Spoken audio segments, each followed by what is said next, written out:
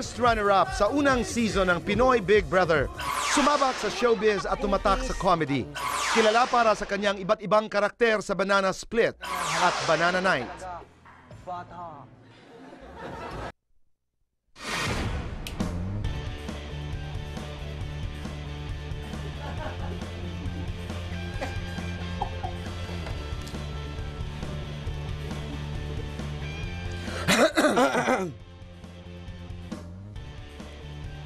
Sino ka? Sino ka? Sino ka nga? Sino ka nga?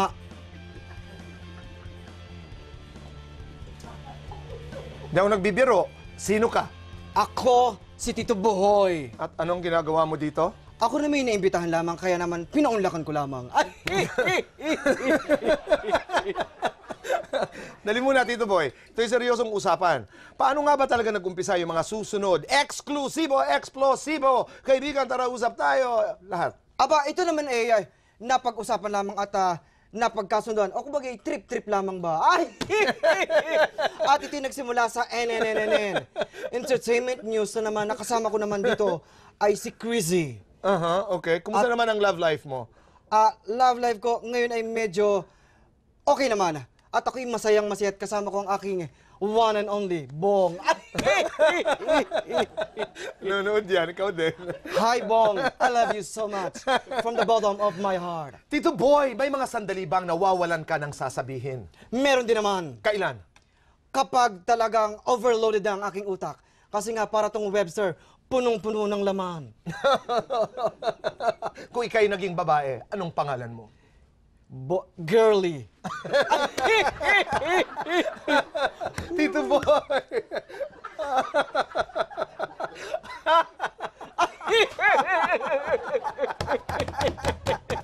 What makes you happy? Ah, boxer brief. it makes me comfortable. It does? Yeah. Talaga? Yeah, yeah, yeah. Lights on, lights off. Lights off. same, same to you. Same. Same. ano bang iyong pananaw sa Chacha na pinag-uusapan ngayon? Ito lamang, Tita Bay, buti naman na itanong mo ang tungkol sa Chacha. Ako hindi pabor. Ba- bakit bakit hindi ka pabor? Mahirap sayawin. Ang maganda sana kung boogie, tango, okay, zumba. Yan ang usong-uso ngayon. Ah, Zumba. Paano ang Zumba? Turuan mo ako, Zumba. Tito Boy. Ito tinatawag na parang Zumba, zoom yung camera, tapos ibaboxing ka. Yan ang tinatawag na Zumba. Zumba. Zo- zoom, camera, Zoom, and boxing. ba- ba- zoom, zoom, camera, boxing. Upo ka na.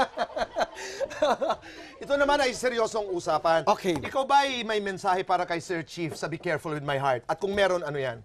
Sir Chief, pakaigihan mo ang iyong pag-arte at talaga nga namang marami kang napapasaya at nabibigyan ng pagkakataong mga yaya na umibig sa mga katulad niya. Nagbibigay siya ng inspirasyon. Napakatalino mo talaga, Tito Boy. Oo naman. Ikay ah, makipag-usap na sa ating mga kababayan at alam ko'y ikay may mga palabas. At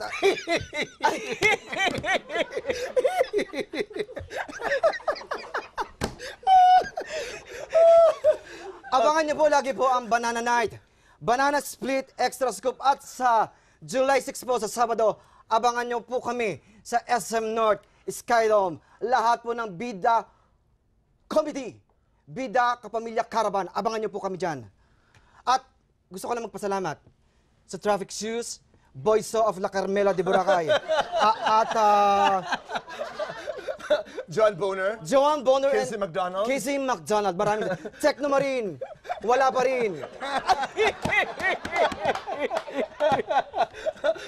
Kapal ng kilay mo, Tito Boy. Iyan ang tinatawag na, na, hair grower. ah, Tito Boy, in one word, describe yourself. Kalbo.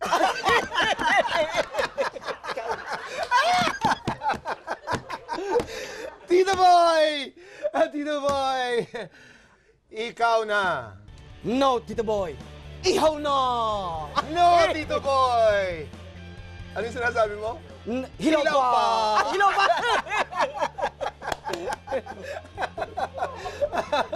O sige. maraming maraming salamat at mabuhay ka, Tito Boy. Mabuhay ka rin, Tito At Boy. pinapayagan mo ko para gayahin ka. At alam ko naman, malaki ang respeto ko sa'yo.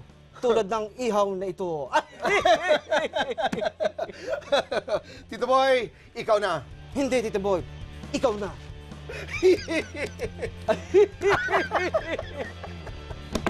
ハハハハ!